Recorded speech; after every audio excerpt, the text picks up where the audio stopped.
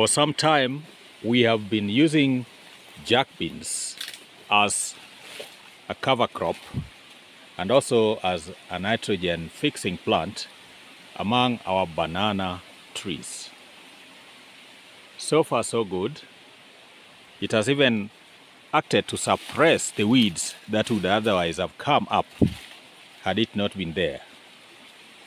The problem, however, comes when the jack bean turns into a climber and starts choking the banana plant like this. So what do we do? Well, it is time to trim it like that. And so these sweet